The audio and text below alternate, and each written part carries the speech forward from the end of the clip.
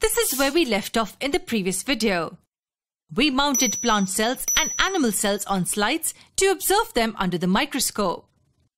Let's study them in general in this video. For our convenience, let's select just one.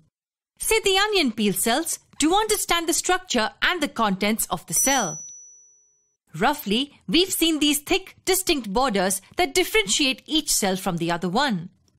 Then we have these tiny dark spots scattered all over.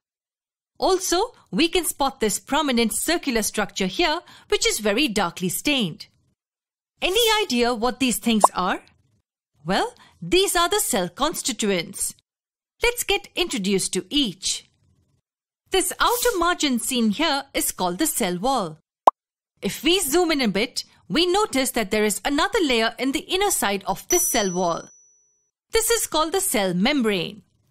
Yes, the outer wall is the cell wall and the inner layer is called the cell membrane. The cell membrane is also referred to as the plasma membrane. It is porous in nature. So what does porous mean? It simply means that any material can move in and out of the plasma membrane. But isn't that dangerous? Of course it is. But the simple solution lies in the nature of the plasma membrane. That is because it is selectively permeable. So what does selectively permeable mean here? Just like a guard standing at the office door who allows only members with the identity cards to enter and exit, the plasma membrane also allows only specific materials to move across. We will look at this in details in our upcoming videos. This was just to understand how the plasma membrane is selectively permeable.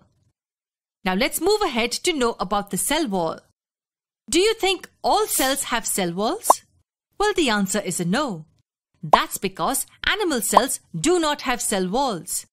An animal cell only has the plasma membrane and not the cell wall. The cell walls act as protectors for plant cells. It's composed of a non-living rigid structure that is cellulose. It not only acts as a protector, but also gives a proper shape to the plant cells.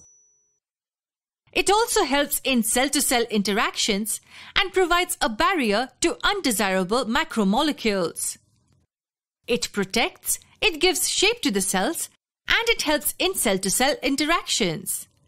Clearly, the cell wall is a very important part of the plant cell structure. Now let's get into this lighter region here. This lighter region is the cytoplasm.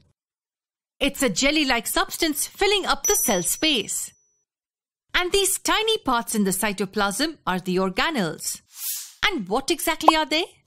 Just like the human body has different organs, the cell has various organelles. And just like the organs, each organelle performs a different function. Let's study each organelle and its functions in our upcoming videos.